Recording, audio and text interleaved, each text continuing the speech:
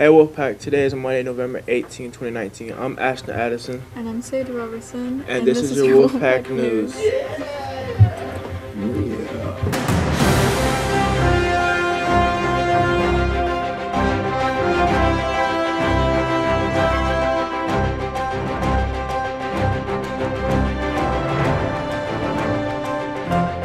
Ashton Addison.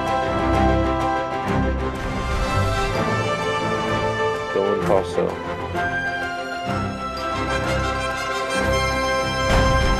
Mackenzie Gamble.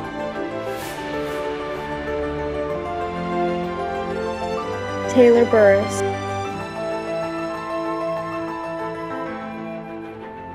Dalen Thomas.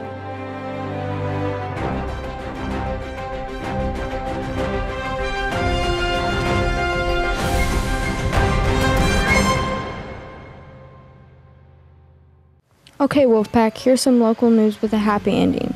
A pilot and passenger escaped to safety after a small plane caught on fire after takeoff at Venice Airport Sunday afternoon. The pilot said he smelled smoke seconds after takeoff and suddenly saw the flames.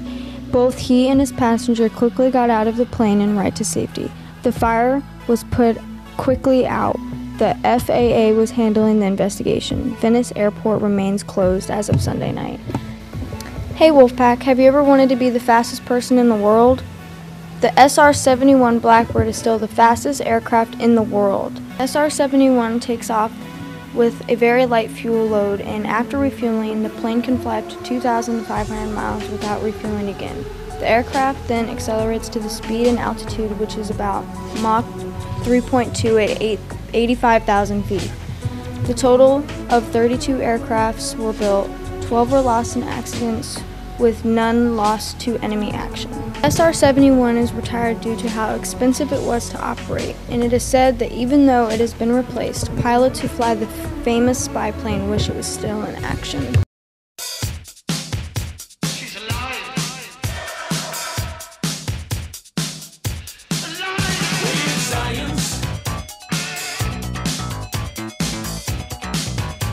Welcome to the Big Brain Challenge.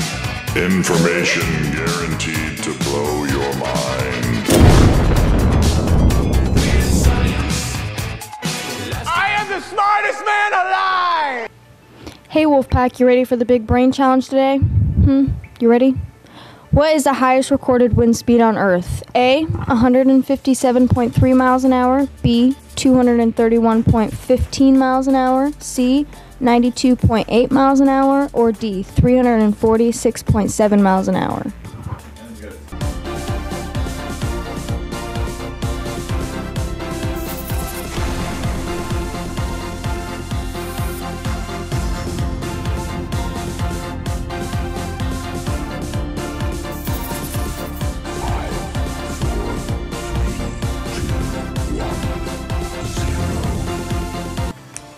Speed, 231.15 miles an hour. It was recorded on Mount Washington in New Hampshire on April 12, 1934.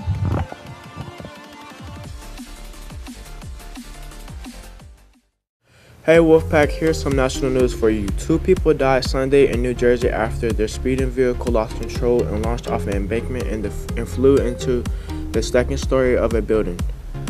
Isaac Kesselman, owner of the building, said no one was inside at the time of the crash. Toms River police said the car was driven by 22-year-old Braden D. Martin and the passenger Daniel Foley, who was both 23, were pronounced dead at the scene. Thanks, Wolfpack. I'm signing out. Peace.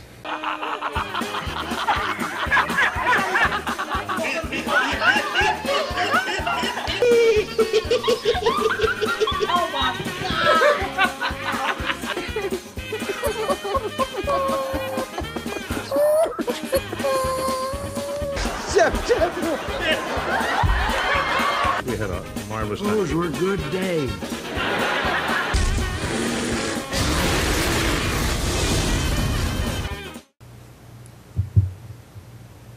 Hey Wolfpack, here's a joke of the day. Why don't eggs tell each other jokes? Because they crack each other up.